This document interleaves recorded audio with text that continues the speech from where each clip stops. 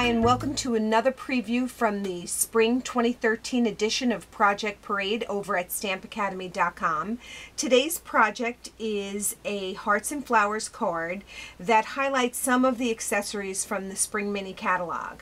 So we have these beautiful roses here, and then a couple of framelits and some embossing folders, and then this is our core'dinations card stock. To get started, we're going to be using a half sheet of very vanilla cardstock, and then you're going to put that into your score tool or your trimmer, and you're just going to score that at four and a quarter. We're going to begin with the Textured Impressions Framed Tulips Embossing Folder. They don't come in our stamp cases, but this is a great storage trick for you. This is just um, one of our empty stamp cases, and I store one on each side. So if you are a member of our Technique weekly, you will see that in there.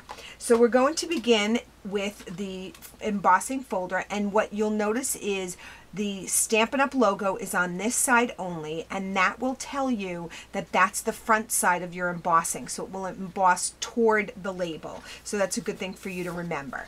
You're going to line this up in here, and it does make a border, so you want to be pretty even here, but you can see right through, so you can just line up your cardstock until you get equidistant borders. Once you're happy with the placement of your cardstock, you're going to put your Big Shot, and then your Textured Impressions folder is going to be on tab 1. You're going to put down one of your cutting plates, put your embossing folder on top, and then put your second cutting plate on it, and then run this through the Big Shot. When it comes out, you're going to have that framed tulips design right there on the front of your cardstock. And then you're very gently going to go back on that score line that you made, but you don't want to press too hard because you don't want to ruin the embossing here. So I'm just going to do it first with my fingers. And then when I have it where I want it, I'm just going to take my bone folder and I'm just going to carefully score that edge just so I have a nice flat score line. Next, we're going to start with our core'dinations cardstock. This is 3 and an eighth by 4 and 3 eighths, and your measurements are always in your PDF, which is below this video. So if you'll notice, the top piece here has a textured finish, whereas this side has a smoother finish. I want to emboss toward the texture. And as we showed you before, that would mean that I would want the textured side on the logo side. And we're going to line that up carefully so that it's straight. And then we're going to put it between two cutting plates on our multi-purpose platform that is on tab one and run this through the Big Shot. When it comes out, you're going to see this textured impression on it, and you're going to see the white peeking through. This is a special kind of paper that's designed to do that. Our normal papers are dyed through and through, so that even if you tear them, you still have that same color throughout.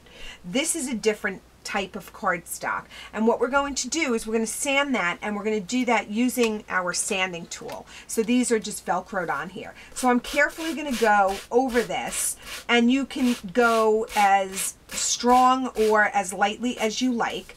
I don't want to go too hard on it because this does weaken the fibers in the paper and I don't want the paper to tear. I, if I'm going to distress it, I want to distress that by myself.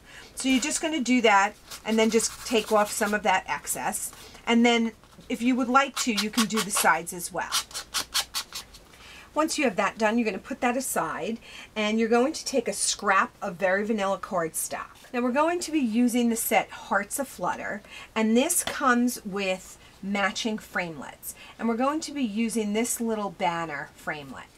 You're going to take your multi-purpose platform and it's going to be fully closed. You're going to put down a cutting plate, put down your Very Vanilla cardstock, your framelit is going to be ridge side down, that's the cutting side. And then you're going to put another cutting plate on top and you're going to run this through the Big Shot. When it comes out, you're just going to pop that out. And it's a good idea to put this framelit away right away because you don't want it to get lost. You're going to go back to your Vintage Wallpaper Textured Impressions folder. And you're going to take that small cutout and you're going to sandwich it in between you're going to sandwich that between two cutting plates. And then you're going to go to your multi-purpose platform and you're going to put it on tab one. And then you're going to run this sandwich through the Big Shot. When it comes out, you're going to have a nicely embossed banner. And the reason that I cut it first is when it goes through the rollers in the Big Shot, it does tend to flatten the embossing. So you do want to do that first. So now to assemble this, we've cut this so that it fits perfectly inside of that tulip frame. So you're going to line this up so that it fits perfectly. And once you have it placed where you'd like, you're going to just press to adhere. You're then going to take that little banner and you are just going to adhere it right up in the upper right hand corner. We're going to be using a stamp set called Trust God. You could certainly use any stamp set that you like. I've mounted the one that says each one of us is God's special work of art. And I'm using a clear mount stamp set. I do prefer the clear mounts because they take up a lot less space. I'm using a classic Stampin' Pad. This is not one of our newer pads. This is the old version. So because I want to emboss this and it's an old pad, we're going to use something that I call the cheater embossing technique. Now, if you subscribe to our weekly techniques or if you're a gold member, you'll know this technique. So basically what you're going to do is you're going to take your stamp and you're going to ink it in your Versamark pad. Then you're going to stamp it onto your regular pad and then directly onto your paper. Now I'm not too worried about the placement and if this is straight because I'm going to be cutting it out. I'm then going to take some clear embossing powder and I'm just going to pour that right on top. I'm going to shake off the excess and then I'm going to use my heat gun to heat that up. So now that I have that embossed, I am going to use my framelits to cut it out. So when we use framelits, we use a multi-purpose platform that is fully closed. We put our cutting pad down and then I'm going to put my greeting here because that's what I want to cut out. I'm going to go to my Hearts a Flutter framelits dies. And again, they don't come in the stamp cases. They do come in a nice little envelope, but I prefer to put them in the stamp cases. So I'm going to be using the scalloped heart. Again, my ridge is cutting side down. I'm going to center this over the greeting until I'm satisfied with the placement. And then I'm going to trap it in there using a post-it note. I will cover that with my cutting plate and I'm going to run this whole sandwich through the Big Shot. When it comes out, it's going to have that nice scalloped edge. And to accent that, I'm going to use a Stampin' Sponge and I'm going to go right into that color and I'm just going to sponge my edges. So now this is what I have so far. I'm probably going to place my heart somewhere around there. And now I'm using my absolute favorite accessory from the new Mini, which is the Vanilla 5 8 inch flower trim. And these are these gorgeous roses that are attached to some netting here so that you can place them over your card and then adhere them down. So you can do four here and certainly just stretch it out a little bit to save, or you could squash them in and do five. I'm going to do four. And I have my ribbon scissor, and this scissor is only used to cut ribbon so it stays nice and sharp. And then I'm going to use a couple of glue dots. What I'm going to do then is I'm going to take each rose and I'm going to press it to one of my glue dots because I want them all to stay when I press them onto the card. So now that I have a glue dot behind each rose, what I'm going to do is just line this up at the edge here and then I'm just going to stretch it a little bit because I want to make sure that it's right across there. And you can kind of mash these and they still stay beautiful, which is awesome. So once that's done, you can then take your greeting and you're going to take some Stampin' Dimensionals and you're going to put those right there on the back of that heart. Once you remove the adhesive backing from the dimensionals, you're going to place your heart and then just adhere. The next thing that we're going to do is create a bow. And I'm going to be using our rhinestone brads to do that. And I'm just going to use one of the small ones because you're not really even going to see it. I'm going to take my paper piercer, put that right in the center there to split those brad legs. And then I'm just going to open them up like that.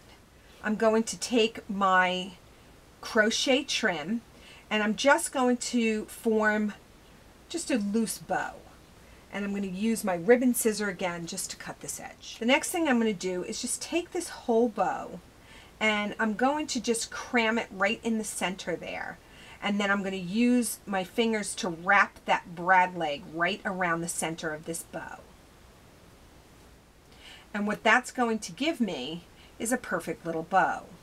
I'm going to take my ribbon scissor again and just trim the edge a little at an angle do the same thing to the other side. Once that's done, I'm going to take one of my glue dots again and I'm going to press it to the back of that and I'm going to place that right there onto the top of that heart.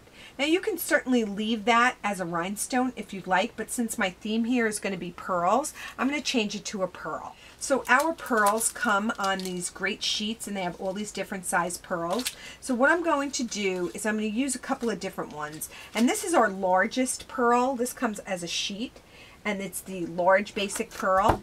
So what I'm going to do is pick that up with my scissor and you can use your paper piercer or whatever you like. I like to use my scissor and you're going to just put that in place and press and it's got adhesive on the back of it so it's going to stay exactly where you put it. I'm going to do the same thing with this pearl and I'm going to put that right there at the bottom and then I'm going to go to the next size pearl and I'm going to put it in the next scallop and I'm going to match the other side to it as well. I'm then going to take the smallest pearl and I'm going to pick that one up and I'm going to put that right next to it and match the other side. Then I'm going to take another one of these larger pearls and I'm going to cover that little rhinestone piece so that it looks like a pearl instead of a rhinestone. When you're through, you have a great feminine card with some really beautiful embellishments from our spring mini catalog. This has been your Project Parade project for today. If you like what you see, you can visit us over at stampacademy.com. Our spring edition of Project Parade is about to begin. And as always, if you have questions for us, we are at mail at stampacademy.com.